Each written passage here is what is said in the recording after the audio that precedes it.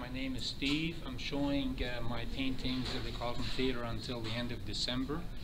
Um, I'm most interested in figurative painting. I like to paint uh, people in various activities uh, as opposed to formal poses.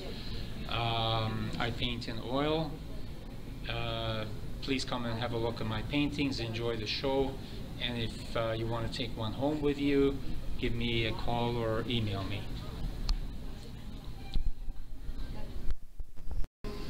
Didn't, so I didn't have any on the same way. Um, so, um, yeah, so we'll see what happens. No, they're gonna just have as each person